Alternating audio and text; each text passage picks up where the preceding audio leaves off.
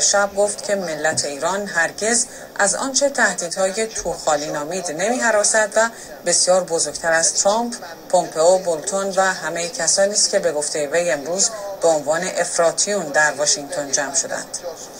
با ادامه این جنگ لفظی بین ایران و آمریکا همکارم هومن اسکری خب خوش اومدید آقای مهداد درویشپور از راه دور. بالاخره دعوت ما رو پذیرفتین من یه تیکه در ویدیو رو که گذاشتم مربوط به دیروز بود اظهار نظری بود که وزیر امور خارجه امریکا در رابطه با اون پیشنهاد یا بایدهای دوازدگانه رو مطرح کرد. و اولین سوال من این هست که نظر شما آقای درویشپور در رابطه با خروج امریکا از برجام چیه و همینطور راجع به این خواسته های دوازدهگانه ایالات متحده امریکا از جمهوری اسلامی ایران. ما سر و پا گوشیم. آقای مهداد درویشپور بفرمایید. سلام عرض می‌کنم جناب کیانوش توکلی عزیز خدمت شما و بینندگان عزیز این برنامه. ببینید جامعه اپوزیسیون ایران اگر از منظر اپوزیسیونالی نگاه بکنیم با این مسئله در واقع با یک برخورد پیچیده ای سر کار داره. از یه طرف ما نمی‌تونیم انکار بکنیم که خروج ترامپ از برجام در واقع می‌تونه با گسترش تنش در منطقه همراه بشه و از این نظر این خروج با توجه اینکه کشورهای اروپایی عنوان کردن. ایران به هر حال به تعهداتش تو چارچوب قرارداد برجام باقی مانده. در واقع این خروج هم از منظر حقوقی قابل توجیه نیست هم از نظر در واقع نقضی قراردادی که مورد توافق بوده. و از منظر سیاسی هم با توجه که می‌تونه لابی های اسرائیل و عربستان سعودی و نیوکان ها در آمریکا نقش مهمی داشتن در سوق دادن هرچی بیشتر دولت دسترسی ترامپ به این اقدام طبیعتا مورد حمایت نمی‌تونه قرار بگیره. یعنی خروج ترامپ از برجام در واقع زمینه گسترش تنش ها رو در منطقه که پر از آشوب و تنش هست رو افزایش میده. از این منظر اگر نگاه بکنیم خب ما نمی‌تونیم خورسند باشیم از خروج آمریکا از برجام و تنشهایی که در پی خواهد داشت. این یک واقعیت است که نباید نادیده گرفت. در این حال این هم یک واقعیتی است که جمهوری اسلامی ایران به رغم برجام این قرارداد عملا توانست حوزه های نفوذ خودش رو در لبنان، سوریه، عراق و یمن گسترش بده. و طبیعتا این از منظر منطقه هست خیلی مثبت نیست. یعنی اینکه این گسترش در واقع توسعه طلبی جمهوری اسلامی ایران به کاهش تنش در منطقه یاری نمیرسونه. پس این هم یک واقعیت دیگری است که ما باش روبرو هستیم. بنابراین چگونه باید به این ماجرا نگاه کرد؟ من موافقم که نوع روی کرده که اروپا در پیش گرفته شاید به مراتب منطقی تره یعنی اینکه سعی می‌کنه دست کم به صلاح تنش رو در منطقه افزایش نده و بیشتر از استفاده از روش های دیپلماتیک برای احتمالا مهار توسعه طلبی جمهوری اسلامی در منطقه گام برداره بدون اینکه در تله اسرائیل و عربستان سعودی بیفته و سعی کنه در واقع با یک نوع گسترش تحریم ها گسترش تنش ها که حتی می‌تونه این جنگ سرد لفظی به یک درگیری های نظامی جدی هم بیانجامه از اون پرهیز می‌کنه از این نظر من اقدام طبیعتا دولت ترامپ رو تایید نمی کنم و فکر می‌کنم که در راستای تنش زدایی در منطقه اثر مثبتی نخواهد داشت. خب بخش دوم سوال در مورد این بایدهای دوازدهگانه که امروز یعنی امروز ببخشید دیروز دوباره آقای مایک پامپئو مطرح کرده که اینا چیزای خیلی چیزای ساده ایه که به نظر نمی‌رسه زیاد ساده ای باشه. مثلا به طور مثال سر زدن به تمام مناطق نظامی ایران یا نمی‌دونم محدود کردن چیزای برد موشکی یا غنیسازی من نمی‌دونم اونها بر اساس چه چیزی اینها را خیلی ساده می‌دونن. نظر شما در مورد خواسته های دوازدگانه آمریکا از ایران چیه؟ باز هم ببینید ما برای اینکه به این مسائل موردی برخورد کنیم و ایدئولوژیک برخورد نکنیم باید این واقعیت رو بپذیریم که بخشی از این سخنان خیلی غلط نیست. یعنی اونجایی که اشاره می‌کنه که برجام مانع پیشروی های جمهوری اسلامی در منطقه نشد. و موضوع البته برجام هم جلوگیری از پیشروی جمهوری اسلامی در منطقه نبود. قرار بود در واقع فعالیت های هسته ای ایران رو مهار بکنه. از این نظر این واقعیت که آمریکا احساس می‌کنه به رغم سرمایه گذاری های گسترده که در منطقه کرده اکتوری که در حال حاضر از برجام تا به امروز برنده است در واقع جمهوری اسلامی ایرانه. این حرف خیلی غیر واقعی نیست اگر نگاه کنیم با توجه به پیشروی های جمهوری اسلامی ایران. از این نظر آمریکا سیاستش مهار جدی جمهوری اسلامی و عقب راندنش در واقع در سوریه، عراق، لبنان و یمن هستش. اینکه آمریکا چنین قصدی رو دنبال می‌کنه اینکه ماجرای جویی های جمهوری اسلامی زمین سازی بوده یعنی این رو هم نباید نادیده بگیریم که درسته که دولت دست راستی ترامپ اگر بهترین حکومت هم در ایران بود باز هم برای مهار ایران کارهای بسیاری رو می‌کرد و مشکل اسرائیل و خیلی از کشورهای نظیر اسرائیل عربستان یا نوکانها جمهوری اسلامی نیست. بزرگ بودن کشوری به نام ایرانه که مایلن اون اگر میشه تجزیهش کنن مایلن اگر میشه جنگ داخلی درش را بیفته. مایلن حتی به سرنوشت سوریه و عراق تبدیل بشه که احساس کنن اسرائیل از یک کمربند امنیتی جدی برخورداره که هیچ کشور اسلامی به صلاح اسلامی نتونه موضوع تهدیدش باشه. بنابراین باید به این واقعیت توجه داشت که اگر جمهوری اسلامی ایران هیچ کدوم از این ماجراجویی هم نمی کرد باز هم می‌تونست با فشارهای جدی روبرو باشه.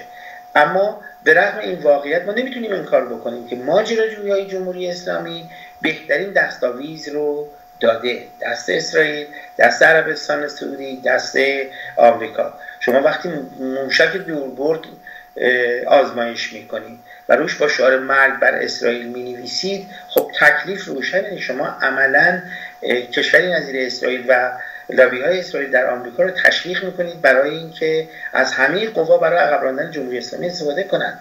یا زمانی که میایید مثلا عربستان سفارت عربستان رو اشغال می‌کنید یا کلا شعارهای مرگ بر آمریکا رو شبار روز تکرار می‌کنید این سیاست ها دیر یا زود یک اجماع جهانی علیه جمهوری اسلامی ایران میآفرینه. بنابراین اینکه ما منتقد سیاست های تون روی دولت آمریکا هستیم منتقد خروج از برجام هستیم و حتی فکر می‌کنیم بسیاری از اظهار نظرهایی که وزیر امور خارجه آمریکا کرده در واقع با واقعیت خیلی خیلی واقع بینانه نیست اما نمی‌تونیم انکار بکنیم که جمهوری اسلامی خودش بهترین دستاویز رو به دست در واقع تندروهای آمریکا داده که به جای سیاست اوباما امروز این سیاست در واقع جاری میشه. اما اینکه آیا واقعا چون این یه بحث جدی است که آیا این اظهار نظرات آمریکا رفتار دولت شخص ترامپ و دولت دستگاه ترامپ به قصد سرنگونی و رژیم چنج در ایرانه یا در واقع یک نوع بلوف سیاسی است اعمال فشار برای اینکه جمهوری اسلامی ایران رو از سوریه بیرون بکنه نه ضرورتا ایران حکومت ایران رو عوض کنه بلکه قدرتش رو در منطقه مهار کنه؟ این هنوز بر ما روشن نیست. هر دو سناریو می‌تونه باشه. یعنی هم می‌تونه تلاش برای رژیم چنج باشه از طریق حمله نظامی یا به راه انداختن یه جنگ داخلی.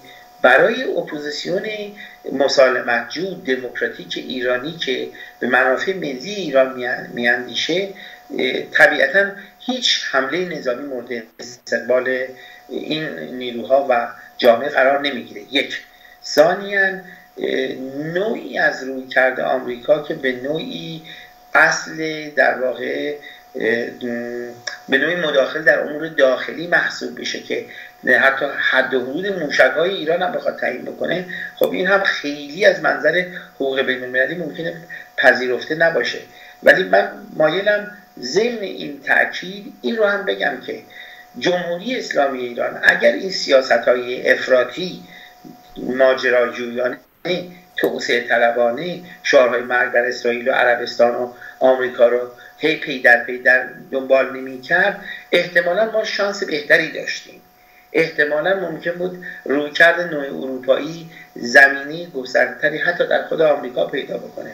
بنابراین فکر می‌کنم ما با ده تا راه حل روبرو نیستیم. در بنیاد با دو سه تا راه حل بیشتر روبرو نیستیم. یا این افرادگرایی از هر دو سو ادامه پیدا می‌کنه. یعنی رفتار اصولگرایان در ایران که موجب تقویت جناهای تند در آمریکا میشه و روش های تند آمریکا که منجر به تقویت اصولگرایی میشه که می‌تونه تا سرحد یک درگیری نظامی جنگ هم پیش بره. یا اینکه ما باید با روش دیپلماسی تعامل با جهان غرب و کشورهای منطقه رو در پیش بگیریم. این به گمان من سیاست به مراتب مثبتتری است برای تامین صلح در منطقه امنیت کشور ایران و اما متاسفانه این دلنگرانی وجود داره که در دو سوی این تنش نیروهایی به دور از خردگرایی در واقع با تهدیدات کار رو به مرحله باریکتر برسونن من این ارزیابی رو ندارم که تهدیدهای آمریکا فقط یک نوع بلوفه مثل مورد کره شمالی که بعدا ترامپ عقب نشینی کنه. نمی‌خوام منتفی بکنم این امکان رو. ممکنه فقط یک نوع فشاره برای اینکه قدرت جمهوری اسلامی رو مهار کنم. اما یک نکته رو مایلم قبل از پرداختن به سوال بعدی اشاره کنم. ایران کره شمالی نیست. و این مهمترین خطایی است که ممکنه جمهوری اسلامی ایران روی اون سرمایه گذاری کنه. ببینید کره شمالی اولا نه منطقه ژئوپلیتیک جدی محسوب میشه در مقایسه با ایران. که روی مرکز منابع انرژی است. نه فقط ایران کشوری نفتی است که کره شمالی نیست. بلکه ایران در منطقه خلیج فارس گلوگاه منبع بخش مهمی از منابع انرژی جهان نشسته و بنابراین این با موقعیت یک سرزمین برهوتی نظیر کره شمالی خیلی فرق می‌کنه. دو کره شمالی متحدی مثل چین داره. که آمریکا هر چقدر تهدیدات لفظی رو افزایش بده نمی‌تونه به سادگی به اون منطقه دست درازی کنه. ایران هیچ متحد به صلاح جهانی جدی نداره. در هر بزنگاهی ممکنه روسیه و چین هم ایران رو تنها بگذارن. در حالی در کره شمالی چین متحد پراپاقرس کره شمالی. سه کره شمالی بالاخره یک کشور اتمیه و می‌تونه یک عکس العمل متقابل ضایعات وحشتناکی رو برای آمریکا یا کره جنوبی در برداشت در ایران اینطوری نیست. ایران کشور اتمی نیست. چهار. همسایگان کره شمالی هیچ یک مایه به یک جنگ نیستن. حتی کره جنوبی مایه به جنگ نبود و گسترش ترش نبود. همسایگان ایران خواستار اصلا نابودی این کشور هستن. مثل عربستان مثل برخی از کشورهای عربی و حتی اسرائیل در فاصله دود است بنابراین که به این مجموعه عوامل نگاه بکنیم این تصور که حتما فرایند آینده ایران مثل کره شمالی میشه یعنی جنگ لفظی شدت می‌گیره. سر یک بزنگاهی عقب میشینه دولت آمریکا. به نظرم این یه خورده سناریو خوشبینانه است و جامعه ایران به طور جدی با خروج آمریکا از برجام که اگر با سیاست تعامل آمیزی از جانب حکومت جمهوری اسلامی رو به نشه قطعا می‌تونه به وضعیت بسیار خطرناک و بحران بحرانشتری منجر بشه. به نظر من این چهار نکته که در مقایسه ایران و کره گفتیم به نظرم اهمیتش خیلی مهمه. فقط اینو من اضافه کنم توی جنگ سوریه. در واقع هواپیماها و موشکهای اسرائیلی با اسکورت هواپیماهای روسی اومدن زدن رفتن. یعنی وقتی هواپیماها وارد وارد مرز سوریه شدن هواپیماهای روسیه اینا رو اسکورت کرده. این خیلی معنی میده. چون به هیچ وجه قبل از حمله نظامی ملاقاتی هم تماسی هم بین در واقع سران اسرائیل و دولت روسیه وجود داشته. این بسیار به نظر من نکته مهمیه که اگر برای عقب راندن داعش و نفوذ آمریکا روسیه از حضور ایران حمایت کرد این به این معنی نیستش که الزاما اون رو یک متحد دائمی خودش می‌دونه. امروز به گمان من روسیه اگر خروج ایران به قیمت تحکیم موقعیت روسیه باشه به راحتی این رو خواهد پذیرفت در سوریه و ممکنه آمریکا و اسرائیل هم در واقع این نوع فشار رو وارد بکنن که در سوریه حضور روسیه رو به رسمیت بشناسن و حتی تقویتش رو اما خواستار خروج نیروهای ایران باشن. و اینجا می‌تونه حتی یک همسویی صورت بگیره بین روسیه و اسرائیل و آمریکا حتی. حتما خب با اطلاع هستیم که در واقع این یه پکیج استراتژی آمریکا هست.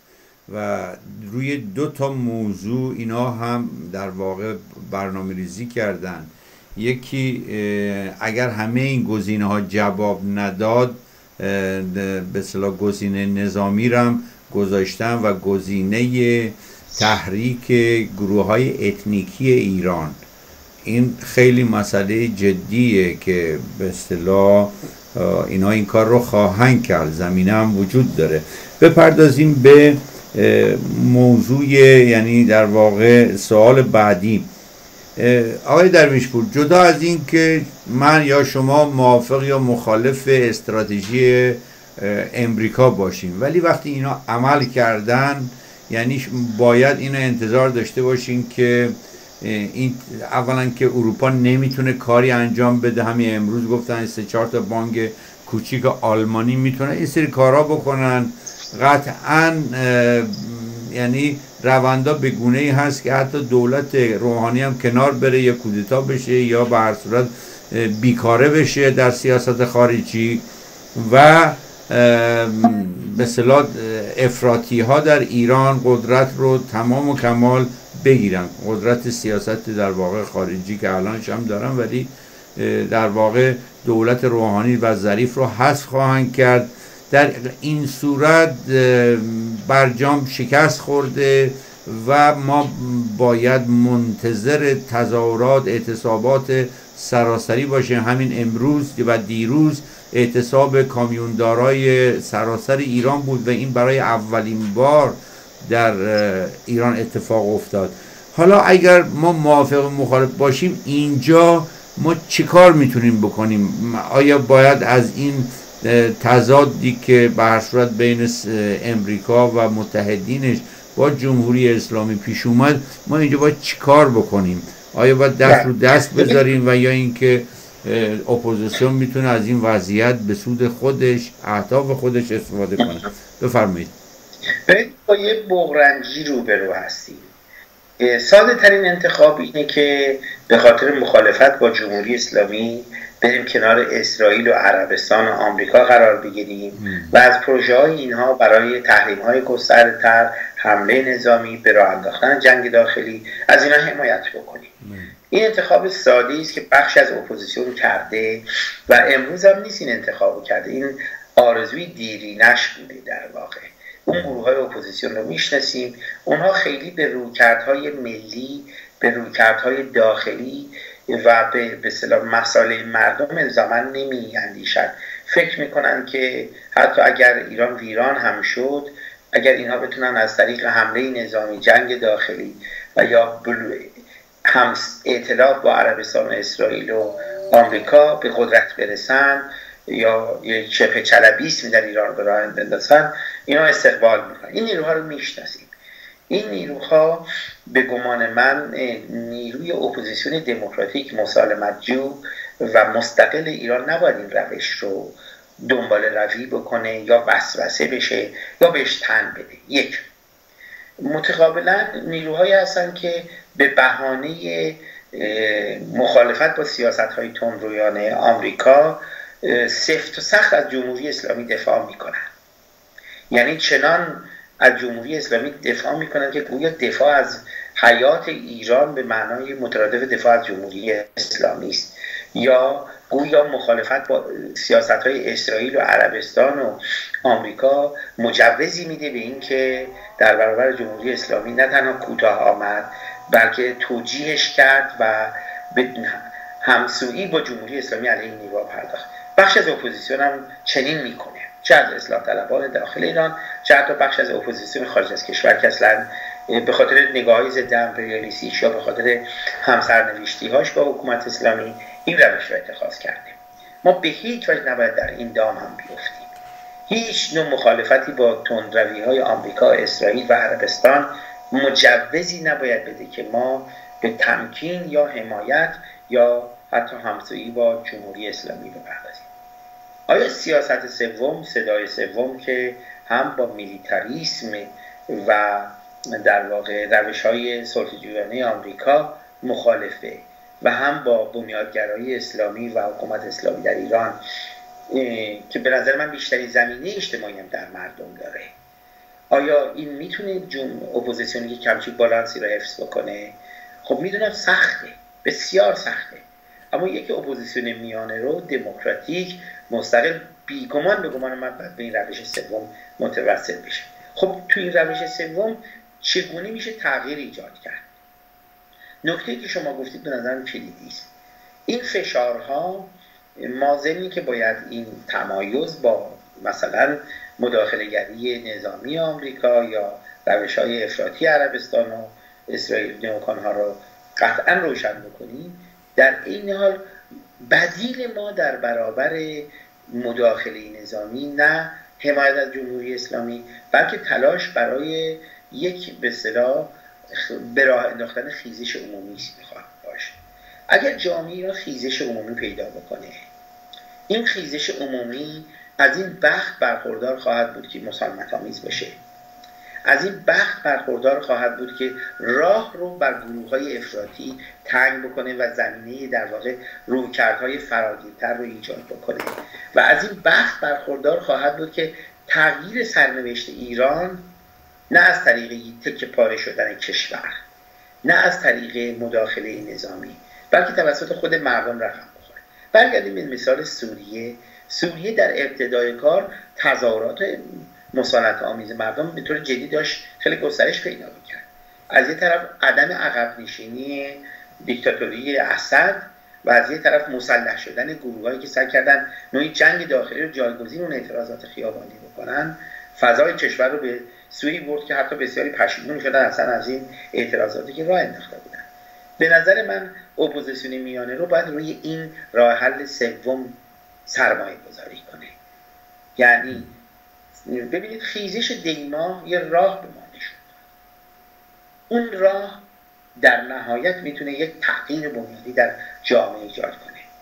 یعنی با توجه به فشارها بر جمهوری اسلامی بیشتر شده اگر اعتراضاتی در داخل کشور صورت بگیره حمایت بین المللی گسترده تری شکل خواهد گرفت. اعتماد به نفس درون کشور هم کمتر شده. ریزش از حکومت بیشتره. نارضایتی افزایش پیدا کرده و ترس مردم بیشتر داره شروع میریزه.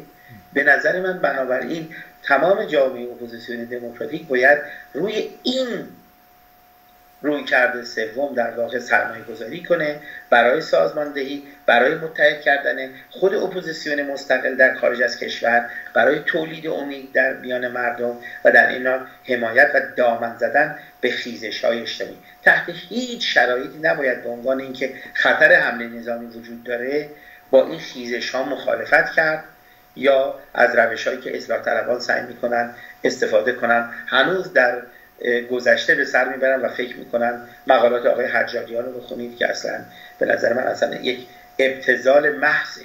یعنی گویا این همه تغییراتی که در این چند دهه بعد از اصلاحات صورت گرفته اصلا ایران پس از اصلاحات رو نمی‌تونه درک بکنه. و نمی‌تونه بفهمه که ایران به طور جدی آبستن یک انقلابه انقلاب منظور من الزاما انقلاب قهری نیست منظورم انقلاب خونی نیست یک خیزش اجتماعی همگانی است و این رو حرکت دی نشون داد و هیچ نشانه وجود نداره که زمینه های بروز این خیزش ها کاهش پیدا خواهد کرد بلکه حرکت کازرون اعتصاب کامیوندارها اعتراضات پراکنده که در کشور صورت می‌گیره. به نظر من با توجه به شرایطی که پیش رو داریم روز به روز شدت پیدا خواهد کرد و این مهمترین امید ما و آلترناتیو برای در واقع پایان بخشیدن به وضعیت موجود از طریق یک راه حل دموکراتیک مسالمت آمیز و از درون کشور هستش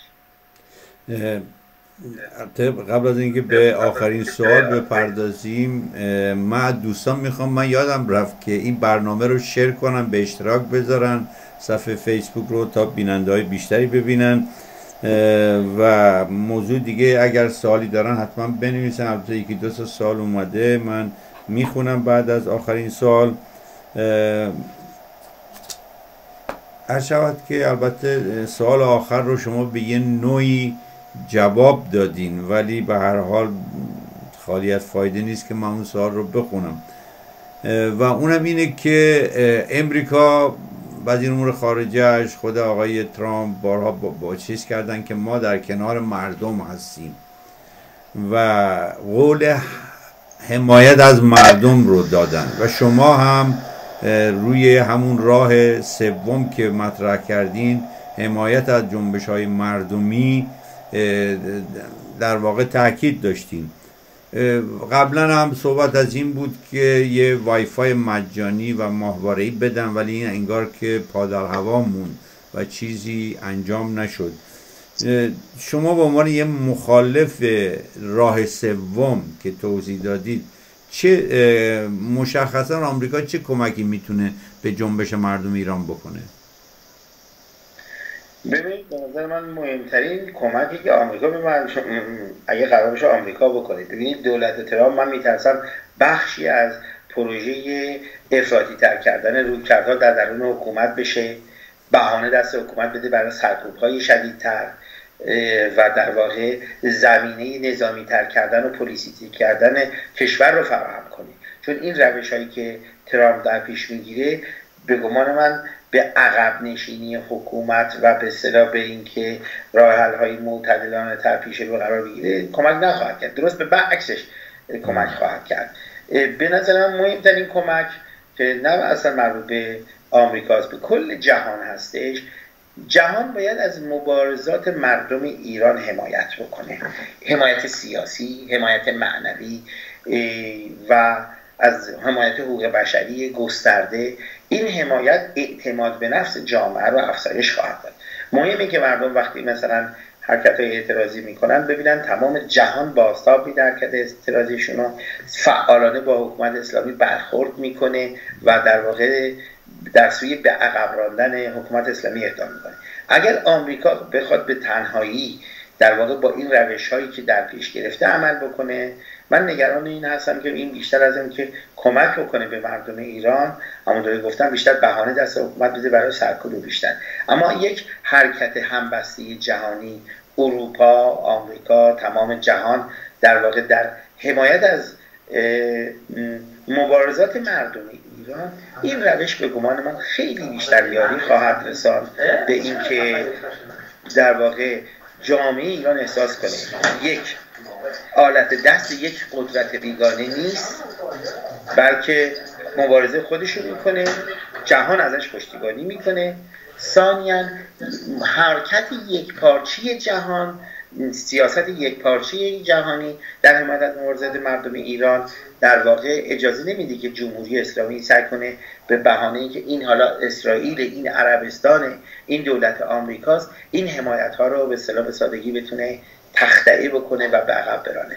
نکته آخر در این رابطه فقط خواستم بگم که مخالفت با حمله نظامی آمریکا یا روش های چلبیستی به معنای مخالفت با حمایت افکار بین المللی از مبارزات مردم ایران نیست و به این بهانه نباید این حرف به نظر من نابخردانه رو زد که مردم ایران به حمایت بین المللی احتیاج دارن. قطعا حمایت احتیاج دارن.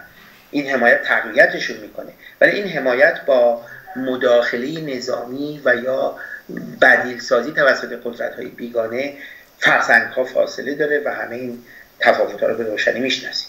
خب من می‌خونم اظهار نظر دوستان و سوالاتشون رو شما اگه تونستین یادداشت کنید. البته بعضیشون اظهار نظر سرباز پادشاهی نوشته تنش و اعتصابات در ایران قفس استبداد را شکسته فقط ریش, ریش مانده از جمهوری اسلامی. دلاوران آزادی فقط یک رهایی نیست آزادی مقدستر از همه چیز است. حمید رضا برهانی نوشته که سوال بوده در واقع پرسش شما در ابتدا اشاره کردید قرارداد برجام نفوذ حکومت اسلامی را در منطقه افزایش داده است. لطفا توضیح دهید چگونه سیاستمدار با این حکومت می‌تواند تشنج زدایی تعبیر شود؟ چگونه سیاست مداران یا سیاستمدار با این حکومت می‌تواند تنش, تنش صدایی تعبیر شود؟ مهین زندی نوشته مشکل است گرچه جملهش ناقصه. پریسیما نوشته جنگ نمی شود اگر احتمالا حمله ای کنن. 500 تا بمب شبانه به 500 نقطه اسکان رژیم در یک شب است. ولی من فکر کنم سرنوشت رژیم مثل شوروی سابق شود و یا عاقبت انقلاب کبیر فرانسه بعد از ناپلئون. حالا باید دید گارباچوف ایران کیست خامنه است یا کوتداگران از درون خودشان. اسدی نوشته فکر کنم هوشنگ اسدی. آیا اتحاد بین جمهوری خواهان و مشروط خواهان یعنی اتحاد سکولارها می‌تواند جام بگیرد؟ این رو آقای هوشنگ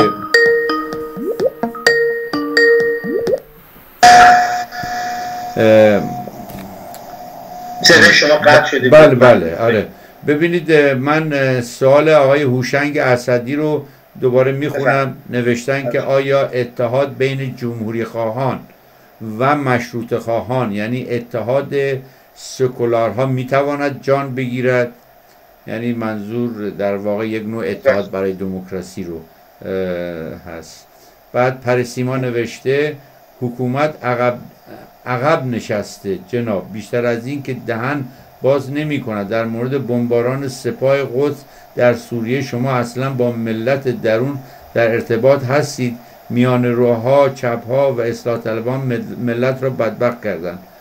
بعد بهترین حمایت همین ضعیف کردن اقتصادیشون است. یعنی خانم پریسیما اعتقاد دارن که آمریکا در واقع با تحریم اقتصادی بزرگترین فشار رو و حمایت رو از مردم می‌کنه. بفرمایید میکروفون در اختیار شماست. بله.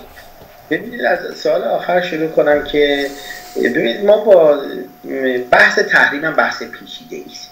علی در تمام تجربیات تاریخی و از جمله تجربه ایران نشون میده که این خطر که تحریم ها دودش به چشم مردم ایران بره کم نیست. و اگر بسیاری از اپوزیسیون مخالف این تحریم های گسترده بوده دلیلش این نیست که از حکومت اسلامی خوشش میاد. برای اینکه نمی‌خواد به خاطر مخالفت با حکومت اسلامی مردم آسیب ببینن. یک. در این حال این هم یک واقعیتی است که به هر حال حتی توافق برجام محصول تحریم های آمریکا بود و تحریم های جهان غرب. یعنی اگه اون تحریم هم نبود حکومت اسلامی عقب نمی نشست این یه واقعیت پیچیده و متضاده که من قبول دارم که این تحریم ها هم می‌تونه به جمهوری اسلامی رو به عقب نشینی وادار بکنه همین تحریم ها می‌تونه دودش تو چش مردم بره. خب برای اپوزیسیونی که خواستار این نیست که مردم لطمه ببینن. از این وضعیت وضعیت پیچیده میشه. به همین خاطر بخش دموکراتیک اپوزیسیون ایران بیشتر از تحریم های هوشمندانه دفاع کرده تا از تحریم های گسترده اقتصادی. تحریم های هوشمندانه که بیشتر سپاه پاسداران و مراکز کلیدی در واقع صاحبان قدرت در ایران رو هدف قرار داده تا تحریم هایی که نظیر آنچه که در عراق بود یا تحریم های گسترده که می‌تونه حتی مردم کوچه و بازار هم تحت فشار قرار بده. برای مخالفت با تحریم های گسترده همه جانبه به معنای هر نوع مخالفتی مخالفت با هر نوع تحریمی نیست. ما از تحریم های هوشمندانه علیه حکومت اسلامی و صاحبان قدرت حتما باید دفاع و نقش مهمی در عقب راندن شده. یک در مورد اینکه آیا جمهوری اسلامی عقب نشینی خواهد کرد یک نکته ای رو ما باید در نظر بگیریم. حکومت جمهوری اسلامی همیشه سعی کرده شگفتی بیافرینه. اینو نمی‌دونیم. کلا هم ایران سرزمین شگفتی است و هم خود جمهوری اسلامی کم شگفتی نیافرید. جام زهری که قبلا خورده شد یک نمونه از این در واقع شگفتی هایی بود که رهبر بلا منازعه بنیادگرای ایران بیان کرد و یا آنچه که به نام نرمش قهرمانانه دیدیم باز نمونه دیگری از عقب نشینی بود که در پس لفاظی ها توجیه شد. بنابراین این احتمال که جمهوری اسلامی ایران در برابر این فشارها عقب نشینی کنه کم نیست. و من گاهی به تنز بلد بودم بگم که این حکومت آنقدر پراگماتیسته اگر لازم باشه حتی استریپتیز هم می‌کنه برای اینکه قدرت خودش رو حفظ بکنه.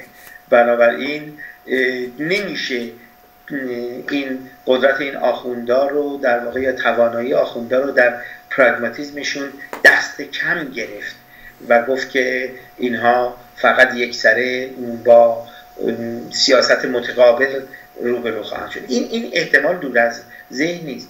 ولی ببینید با توجه به اینکه ایران به هر حال در فضای تنش آلود نیروهایی که خردگران نیستن می‌تونن به بازی های خطرناکی دست بزنن که پیامدهای اون غیر قابل پیش بینی باشه هیچ آدم متعقلی استقبال نمی‌کنه. از ایجاد فضایی که در واقع تنش ها شدت پیدا بکنه و توش نیروهای غیر خردگرا میدان عمل گسترده پیدا بکنن.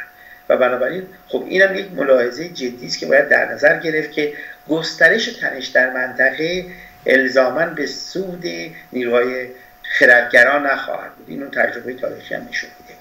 در خود امروز منطقه.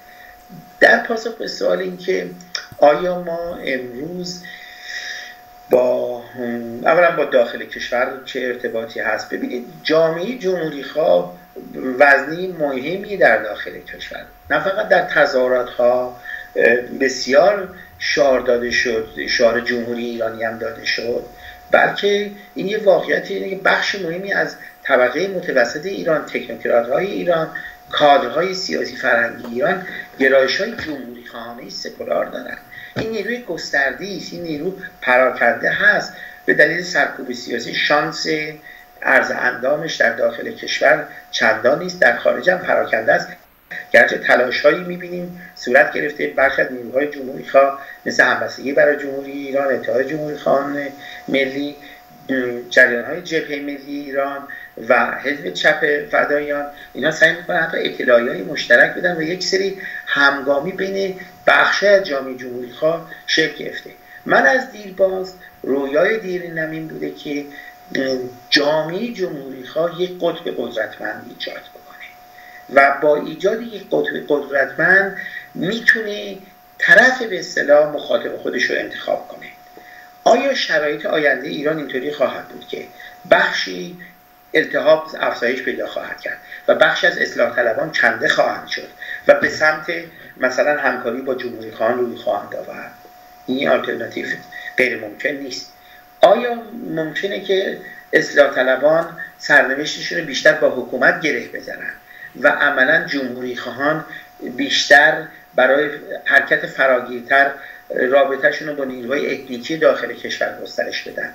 و یا نوعی تنظیم رابطه با نیروهای به صلاح هوادار رضا پهلوی بکنن. این هم دور از ذهن نیست. ما در سیاست نمیشه درها رو بست. نمیشه یک حرفی رو از روز اول تا آخر تکرار کرد. ما می‌تونیم بر این تاکید بکنیم. اولویت سیاسی جامعه جمهوری خواه باید تشکیل قطب گسترده جمهوری خواهی باشه که بر گذار خشونت پرهیز رویکرد ملی و در واقع یک نظام تشکیل مجلس مؤسسان و انتخابات آزاد برای تشکیل مجلس مؤسسان تغییر قانون اساسی و در واقع یک نظام جمهوری سکولار پافشاری کنه. این باید گرانیگاه یا مرکز سقر فعالیت جامعه جمهوری خواه باشه. اما جامعه جمهوری خواه نمی‌تونه نباید و در عالم سیاست بهش تحمیل خواهد شد که بسته به اوضاع احوال شرایط ممکنه نزدیکی بیشتری با گروه های چپ پیدا کنه ممکنه نزدیکی بیشتری با بخشی که از اصلاح طلبان کندی میشن پیدا کنه ممکنه با مشروط خواهان نزدیکتر بشه. ما باید با هر سه نیرو تنظیم رابطه کنیم. اینا نمی‌تونیم نمی‌تونیم نادیده بگیریم. نمیشه ایران فردا رو صرفا با تکیه بر نیروی جامعه جمهوری خاص سازمان داد. باید پذیرفت که نیروهای دیگر هم وجود دارند و اونها میفای نقش خواهند کرد. و هرچی تنش بین این نیروها کمتر باشه تعامل بیشتر باشه شرایط مساعدتری برای در واقع تثبیت یک اقتدار دموکراتیک خواهد بود. اما از امروز تعیینه که آیا ما کدام نیرو رو مخاطب اصلی همکاری قرار بدیم؟ به نظر من نه شرایطش هست نه در واقع ضرورتی داره که پیشا پیش تعیین بکنیم. فقط می‌تونیم بگیم اولویت تشکیل قطب جمهوری خواهی تنظیم رابطه با سه نیروی اجتماعی دیگر از جمله مشروط خواهان چپها و اصلاح طلبانی که فاصله گرفتن از حکومت اسلامی.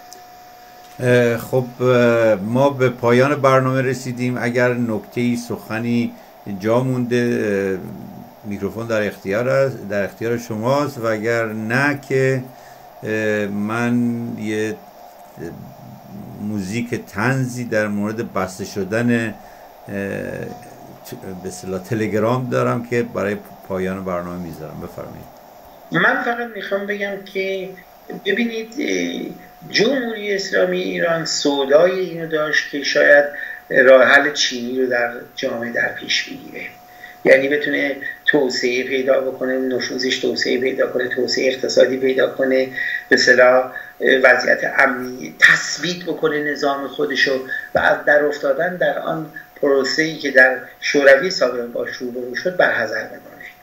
اما به نظر من نه این شد و نه آن. نه ایران چین خواهد شد. نه به گمان من به سرنوشت شوروی سابق در واقع دچار خواهد شد. به نظر من یک چیز روشنه. امروز مردم ایران و جهان در واقع از پدیده به نام جمهوری اسلامی ایران در واقع یا منزجرن یا دقیقتر بگم حتی اگر تعاملم می‌کنن لحظه شماری می‌کنن برای پایان شدن پایان یافتن عمر این حکومت.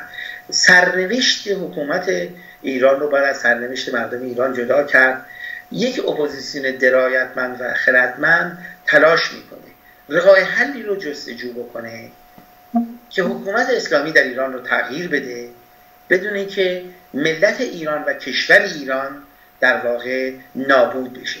این آن را جان کلام راه حل سومی است که ما بر اون پافشاری می‌کنیم و امیدوارم که هرچه بیشتر مردم و جامعه اپوزیسیون و نیروهای جهانی از این راه حل سوم استقبال بکنن برای اینکه یک گذار بی درد به اصطلاح یک نظام دموکراتیک و تامین امنیت و صلح در منطقه و ایران وجود داشته باشه. با آرزوی دسترسی در جامعه ایران به چنین در واقع آینده. تشکر از شما و البته چند تا سال دیگه مون که ما به دلیل تموم شدن وقت دیگه نمی‌تونیم به این در واقع چی میگن پاسخ بدیم تا برنامه دیگه. من این برنامه رو می‌ذارم برای دوستان.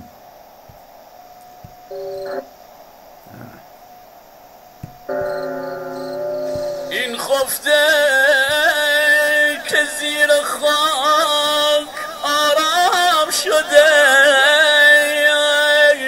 بوده سلگرام که ناکام شده از بس پته رجال را ریخ بر آب. با حلقه فیلتری اعدام شده بس پته رجال را ریخ بر آب با حلقه فیلترینگ اعدام شده. تلگرام تلگرام تلگرام تلگرام تلگرام. بفرمایید بفرمایید. با روی مرحوم ارتباط برقرار کنید. بفرمایید. شما نه برای شما مناسب نیست. ممکنه گیر